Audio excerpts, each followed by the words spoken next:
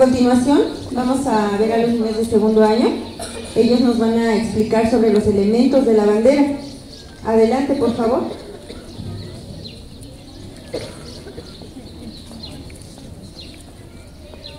El 14 de abril de 1823 el Congreso Constituyente Mexicano decretó que el escudo sería el águila parada sobre un opal agarrando con la pata derecha una serpiente.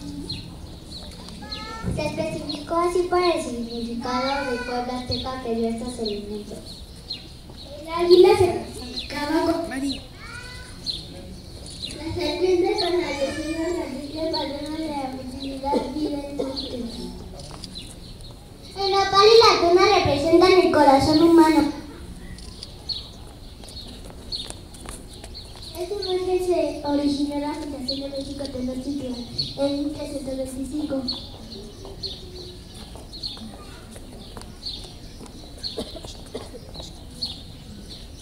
Quien se encargó de reglamentar los colores del ávaro patrio con el águila de perfil fue Venustiano Carranza. Los colores de la bandera tienen un significado en particular.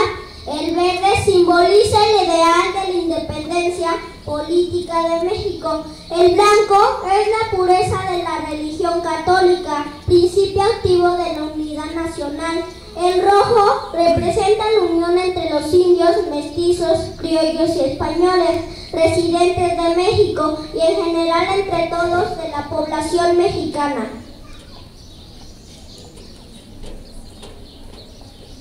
Sus tres colores son tres garantías que defienden las ideas políticas que se impulsaron en el proyecto de la independencia nacional de los mexicanos que